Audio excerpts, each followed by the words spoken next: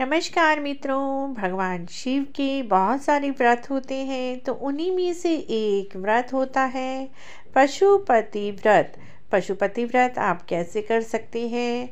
तो इसी की जानकारी आज हम आपके लिए लेकर आए हैं। पशुपति व्रत को केवल पाँच सोमवार ही करना होता है लगातार, और एक ही मंदिर में पूजा करनी होती है। मंदिर नहीं बदला जाता। पहले सोमवार जहाँ पर आपने पूजा की है, वहीं पर पाँच सोमवार लगातार पूजा करनी है। इसमें छः दीपक जलाने का महत्व है। पाँच दीपक मंदिर में चलाने होते हैं और एक दीपक अपने घर के मेन गेट के राइट हैंड साइड चलाना होता है। तो पशुपति व्रत, जिन जिन व्यक्तियों के जीवन में कुछ समस्या आ रही है, कुछ शारीरिक समस्याएँ हैं, व्यापार संबंधी समस्याएँ, कर्जा नहीं उतर रहा और भी बहुत सारी समस्याएँ ऐसी हैं जो हम किसी से शेयर भी नहीं कर सकते। तो यह सब समस्याओं का अंत होता है। अगर आपके मन में कोई इच्छा है, वह भी पशुपति व्रत करने से पूरी हो जाती है। पशुपति व्रत में सुबह और शाम पूजा करनी होती है। जिस प्लेट को लेकर आप सुबह मंदिर में जाते हैं, उसी प्लेट को शाम को भी लेकर जाना है। उसमें छः दीपक रखने हैं, पाँच दीपक भगवान शिव मंदिर में चढ़ाने हैं और एक दीपक अपने मुख्य द्वार पर जलाना है शाम के समय। इसमें भोजन क्या करें? तो इसमें तीन जगह भोजन शाम को निकाला जाता है और फल आहार ही लिया जाता है। इसमें ना तो आप नमक खा सकते हो, ना ही अन्न खाया जाता है। फलवार में आप चाहे तो साबुदाने की खीर बना लीजिए, सिंघाड़े का आटे का हलवा भी बना सकते हैं। तो तीन जगह अगर आपने हलवा बनाया है तीन जगह उसको निकालना है। दो जगह जो आपने हलवा बनाया है, वह शिव मंदिर में चढ़ा कर आना है शाम के समय।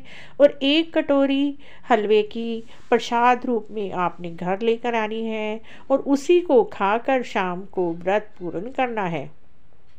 पाँच सोमवार पशुपति व्रत करें और मन की पूरी इच्छाएँ पूर्ण करें। इस प्रकार पाँचवें व्रत में शाम के समय आप एक नारियल ले जाइए। नारियल के ऊपर रक्षा सूत्र बाँध लीजिए और अपनी मनोकामना कहकर भगवान शिव के चरणों में अर्पित करें। और साथ में बेलपत्र। बेलपत्र आपकी श्रद्धा है। ग्यारह, इक्कीस, इकतीस, एक सौ आठ, जितने भी आप लेकर जाना चाहते हैं पाँचवें व्रत में, सारे बेलपत्र चढ़ाएँ। भगवान भगवान शिव का अभिषेक करें और नारियल चढ़ाएँ, साथ में पंडित जी के लिए सीधा ले जाएँ, सीधे के अंदर आप आटा, गुड़, चावल, नमक, हल्दी खाने पीने का सारा सामान सूखे में ले जाएँ ताकि वो किसी के काम भी आ जाए। तो पाँचवें व्रत में ही यह सब चढ़ा कर आना है और अपनी मनोकामना या इच्छा जो भी आपकी है वो बोल कर आनी है मंदिर में।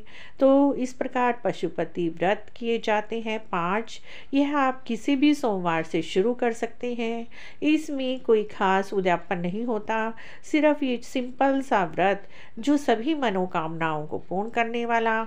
लेकिन इसमें सुबह और शाम दोनों समय भगवान शिव का अभिषेक करना है आपको, मंदिर जाना है और सेम प्लेट लेकर जानी है जो आप सुबह लेकर गए थे, उसी को शाम को लेकर जाना है। और छः दीपक का इसमें सबसे अधिक महत्व है तो इस दिन आप नमक और अन्न ना खाएँ, फलहार खाएँ, प्याज लहसुन ना खाएँ मांस मदिरा ना खाएँ। पशुपति व्रत ऐसा है जो मन की सभी इच्छाएँ पूर्ण करता है। जीवन में आ रही सभी तरह की समस्याओं का अंत करना है। यह व्रत आप किसी भी सोमवार से शुरू कर सकते हैं। तो इस प्रकार मित्रों, भगवान शिव भोले और माता पार्वती के लिए पशुपति व्रत बिल्कुल साधारण और सिंपल पूजा विधि के साथ आप कर सकते हैं और मन की इच्छाएँ पूर्ण कर सकते हैं। आज की यह जानकारी अगर आपको अच्छी लगी है तो चैनल को ज़रूर सब्सक्राइब करें। कमेंट बॉक्स में ओम नमो शिवाय अवश्य especially